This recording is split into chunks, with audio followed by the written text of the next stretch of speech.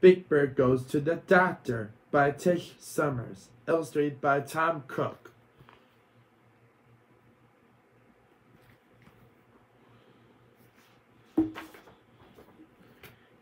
It was a beautiful day on Sesame Street. Grover was showing everyone his new tricycle.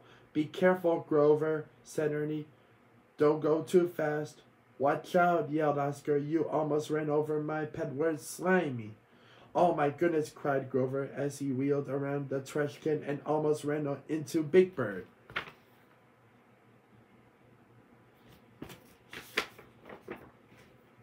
Good morning, everybody.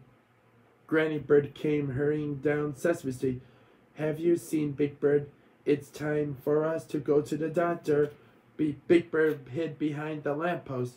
Going for a checkup was not one of, a, of his favorite things. Oh, I don't need a checkup today. I'm, I don't need a checkup today, Big Bird told Granny. I feel fine. I know you're not sick, said Granny. But once a year, the doctor must examine you and see how much you weigh and how tall you've grown. If we wait until next year, I'll be even taller, said Big Bird. Come on, Big Bird, said Granny.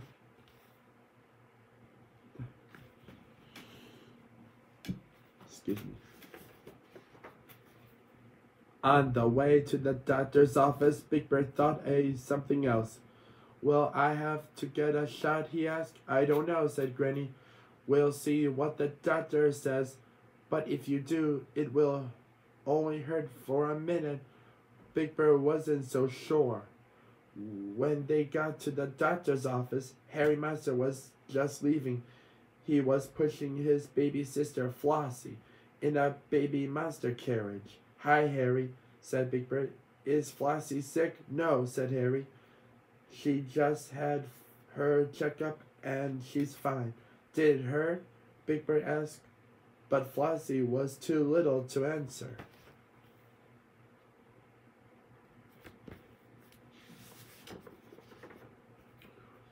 Big Bird and Granny sat down in the doctor's waiting room.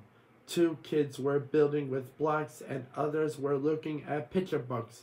Some children didn't feel like playing. Do you want to help me with my puzzle? asked Prairie Dawn. Sure, said Big Bird. He didn't hear Nurse Nightingale until the second time she called him. You're next, Big Bird, she said. You and your granny can come in now.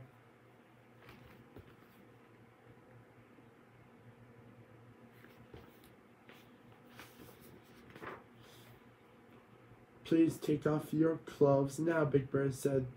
The nurse said, so far she had seen six Krillin, two furry monsters, and one Twiddlebug. I forgot, she said. You have feathers instead. That's all right, said Big Bird. Everyone makes mistakes. Granny sat down in the corner. Just then, Dr. Staywell came in. Hello, Big Bird she said. How are you feeling? Fine, said Big Bird in a tiny squeak. The doctor sat down and opened a folder with Big Bird's name on it. Have you been eating well? she asked. Oh, yes, said Big Bird. I eat three meals a day and have one birdseed milkshake for a snack. Have you seen, have you, I mean, have you been sleeping well? asked the doctor. Yes, I snug in my nest every night at 8 o'clock, answered Big Bird. The doctor asked him a few more questions and wrote carefully on Big Bird's chart.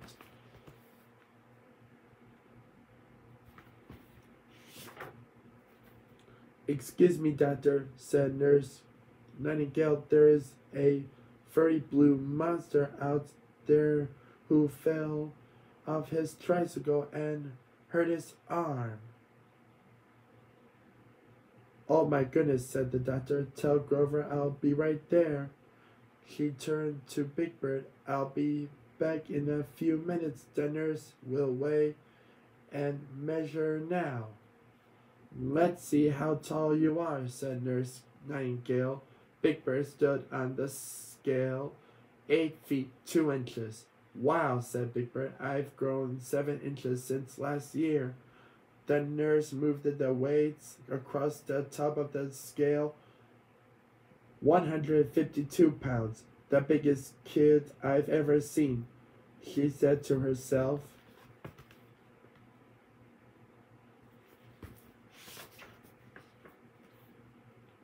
When Dr. Staywell returned, she told them that Grover would be fine. Now, Big Bird, she said, open your beak so that I can look at your throat. Big Bird opened wide. Dr. Staywell shined a little flashlight into his throat and pushed his tongue down gently with a flat wooden stick. Ah, said Big Bird. She shined other flashlight into Big Bird's ears. Big Bird's ears. They weren't easy to find under all his feathers. That the doctor felt Big Bird's tummy, neck, and under his wings. It tickled, and Big Bird giggled. Now please walk across the room for me, she said. I want to check your posture. Posture. Big Bird walked across the office, and the doctor saw that he stood straight and tall.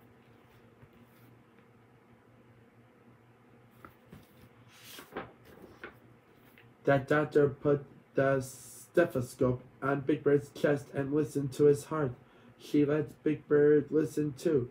He heard his heart go ka-thump, ka-thump. She took his temperature with with a thermometer. 98.6, she said. That's normal. Dr. Staywell tapped Big Bird's knee with a small rubber hammer and made and it made his leg jerk forward. You have very good reflexes, she told him. Thank you, said Big Bird. Pox police Poxley Poxley he he wasn't sure what reflexes were, but it sounded like a compliment.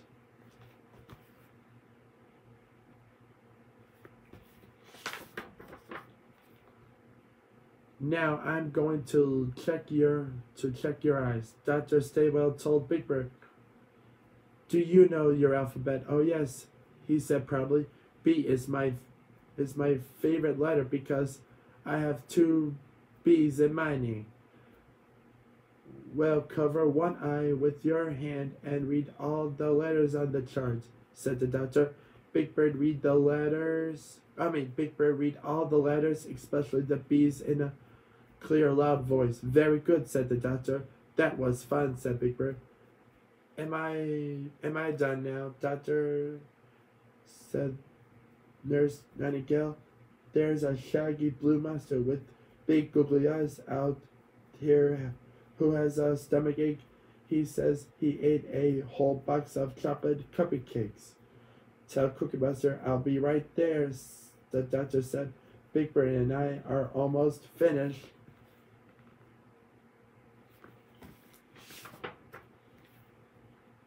The doctor smiled at Big Bird. You are a very healthy bird, she told him. There's just one more thing. Your chart shows that you need that you should have a shot. Maybe some other time, said Big Bird. Thanks anyway. Big Bird, said Granny. You must have a shot now to keep you from getting sick. Will it hurt? He asked it. Only for a minute, said said the doctor. Granny put her arm around Big Bird, said the doctor held his wing and quickly gave him a shot. See, that wasn't so bad, was it? The doctor asked. You were very brave. Brave. The doctor put a small round band-aid over the spot.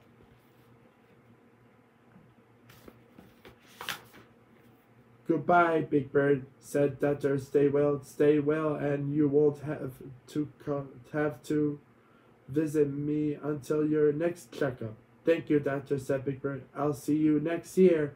Here's a balloon for you, said the nurse, and one for Grover and one for Cookie Monster.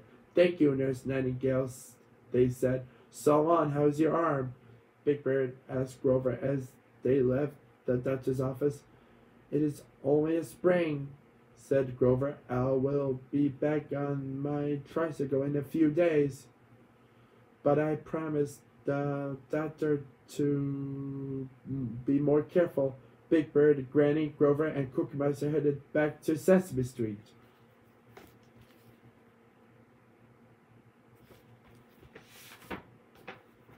How did it go to go at the doctor's office? asked David when they walked into Hooper's store. Fine, said Big Bird. The doctor looked at my throat and my ears and watched me walk around and I listened to my heart and read the alphabet. Then I got a shot and it only hurt for a minute.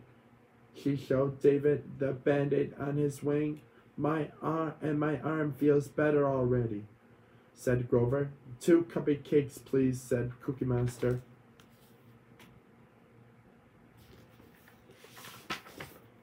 The end.